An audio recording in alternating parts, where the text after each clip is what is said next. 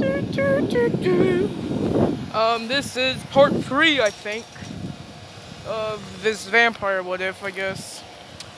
But last time I left off on this episode, um, or last episode or part, was Yamato taking Deku and the seven other students, along with the people of the office and teachers are also that teacher is also taken, which would be suspicious, and there would be a report of this, and Deku's mother and father would be looking for them.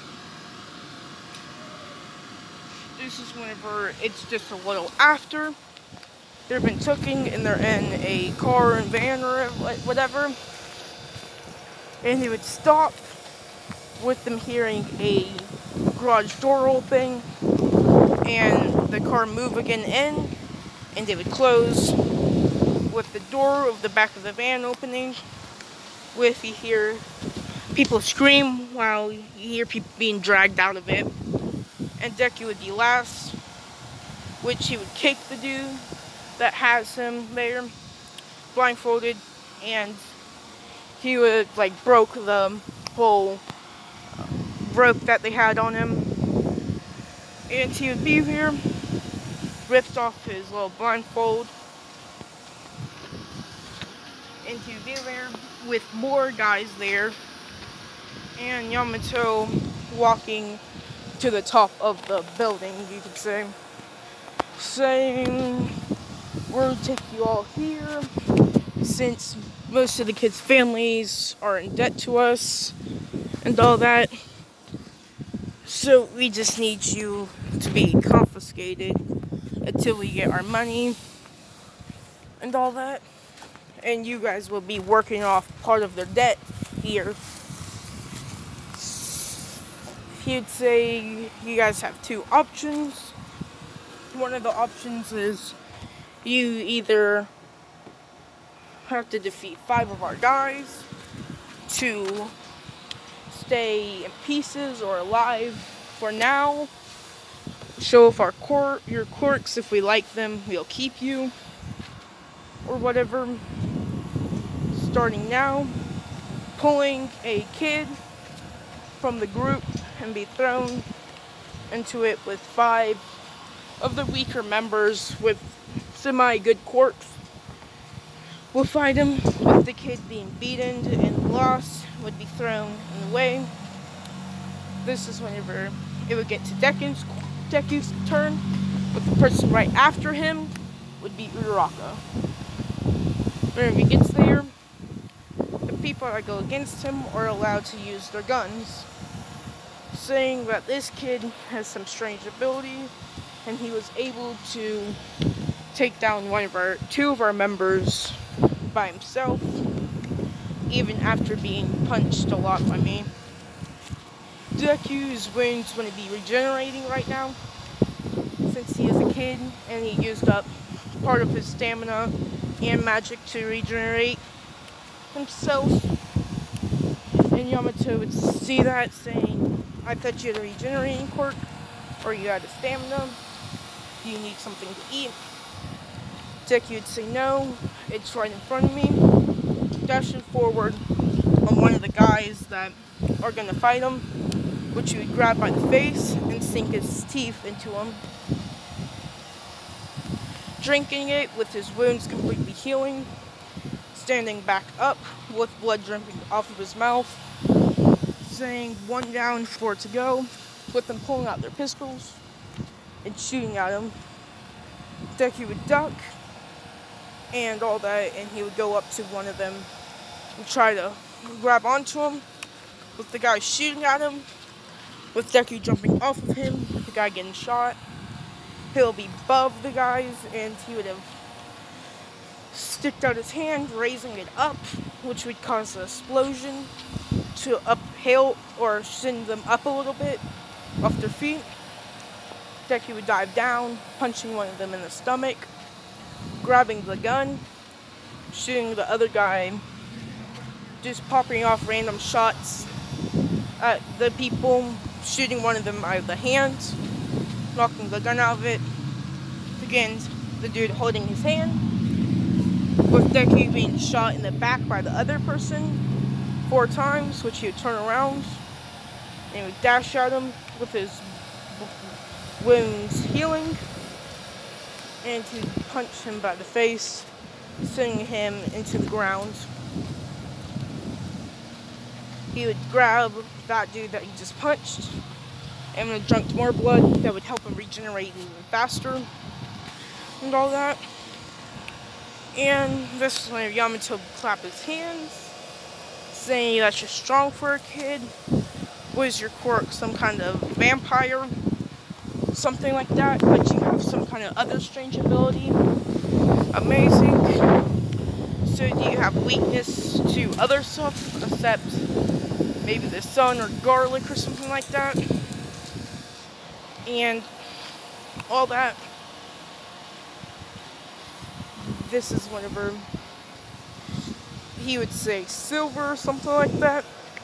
Which he would say that's stupid, not like I'm a real vampire. He'd say you live kid, bring the next kid, which you would be Uraraka.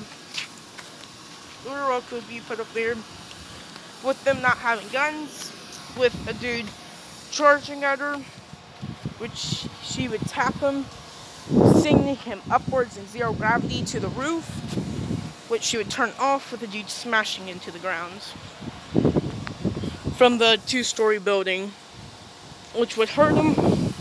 The guy saying, just don't let her touch you, smacking her and kicking her around, which Deku would jump in and in front of them, would drop kick one of them and grab her and would have sticked out his hands with him saying zip, with three, the rest of them dropping to the ground with their legs being popped by him. Which Yamato ask what that is. Deku would have called said said that it's called zip. There's other ways to use it.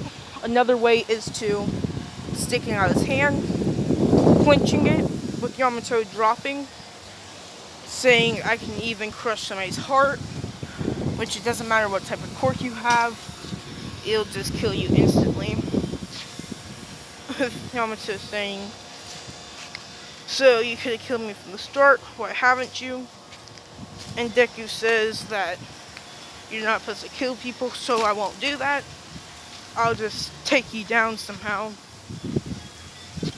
Yamato said that's naive you're just a kid anyway. And all that.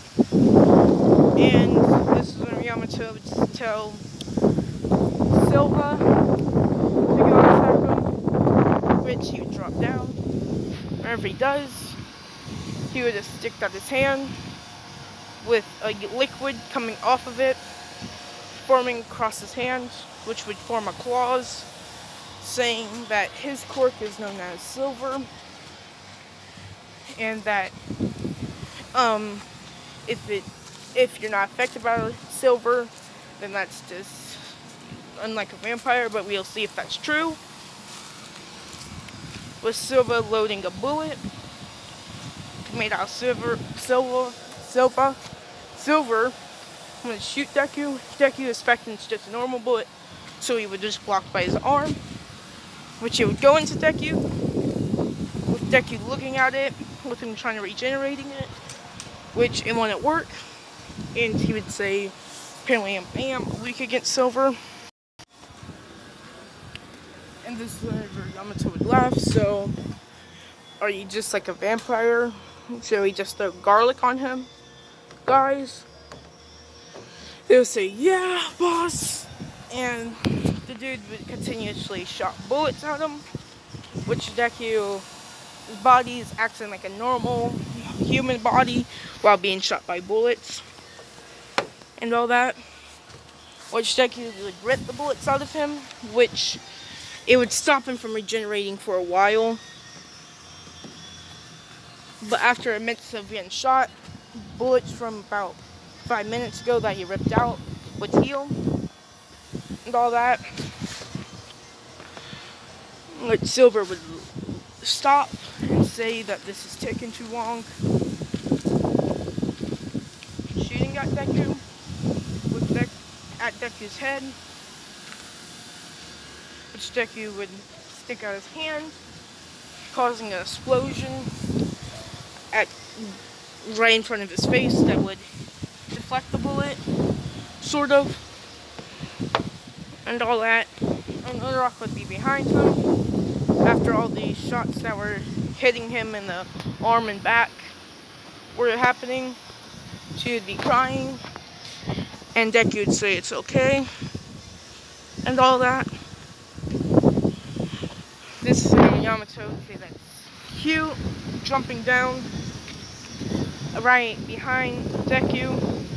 After he said this, Deku turned around while being shot, and he would see Yamato take his fist and hit Uraraka right in the neck, pretty much, with her neck cracking, and she would be sent to the ground, which would make Deku mad, with a massive amount of magical power bursting out of him, with Deku saying, this is end, sticking out his hand, clenching it, but it's not going for his heart. Instead, a physical manifestation of his magic would appear, of a hand which would grab him, and he would throw him into the ground, and he would he would have stepped forward, Deku would, creating of explosions, would blast him into the sky. And this one, Deku would swing his hand down, making another explosion sending him into the ground. Yamato would be hurt by these, and he would look towards him, saying, You brat, with his quirk manifesting completely over him, and he would charge towards him, spinning, and would have attacked him with his tail, pretty much, which he would slam Deku, but Deku would have blocked it with his hands, and would have swinged it at him, grabbing him, clenching him again, saying, I'm just gonna break all your bones. Which you hear, crack, crack, crack, crack. And he would drop him to the ground, turning to the rest of them, and he would grab the rest of the kids, and he would tell the rest of them to run. Of the kids that are beat up. They're not killed yet, but you blast a hole with them escaping the best that they can. Them grabbing Uraraka, jumping out of that place, slamming his feet into the ground with a huge, like, circle of his energy would appear. Hey, hey, hey, hey. The explosion would happen, and they'll be out with this contacting pretty much his parents with explosions, which his mother would fly or jump around with his father using enhancements. And they would get there, seeing what happened with the Mask Deku is after they had captured everybody. And they'd say that he left with them going looking for him for the whole day.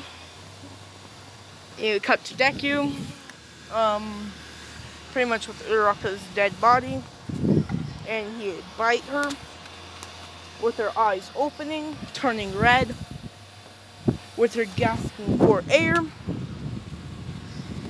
asking, are you, asking no, saying no, and she would see Deku, with him saying, are you okay, and all that, and say, yeah, standing up, saying what happened, he'd said that um, heroes came and got them when we left, or I got you out. she'd say, yeah, where's the rest of them? She, he'd say that they're back with the hero, with my parents, the heroes, and that I have to tell you something. If you ask what it is, he would have to explain that she died, and he brought her back to life and not to and saying that it's okay to be mad at me. Of course, she would thank him and say that it's okay as long as I'm alive, it's fine, and all that. Oh my god, help. Oh my god, please help me. There's a sane, insane person out here chasing me with some kind of spear looking thing. I don't know. But yeah. You thank him and she would be they would leave and the parents would find them or Deku's parents would and ask what happened and all that. And she would see Uraraka with red eyes and they'll know what happened. And Deku's father would and mother would say that you weren't supposed to use that on somebody. And he would say, yeah, but she died because I couldn't protect her. And I think that was my fault, so I had to use it. And so, this is the end of this episode. See you guys next time.